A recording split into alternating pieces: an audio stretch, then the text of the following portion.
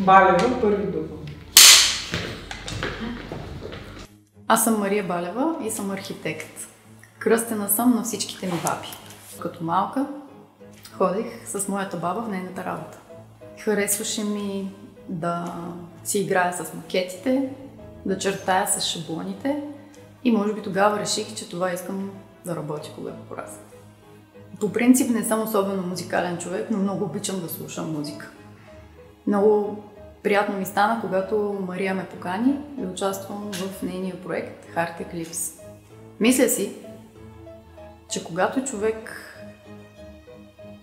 по някакъв начин чувства, че му се получават нещата, започват да му бучат ушите. И това го кара да мисли, да, на прав път.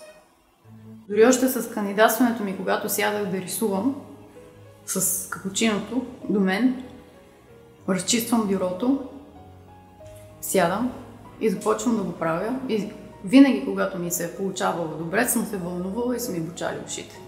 Както баба ми казваше, най- най-трудно е началото, когато седнеш и изпиташ ужас на белия лист. В работата ми ме вдъхновяват хора, които имат нестандартни идеи и различен начин на мислене.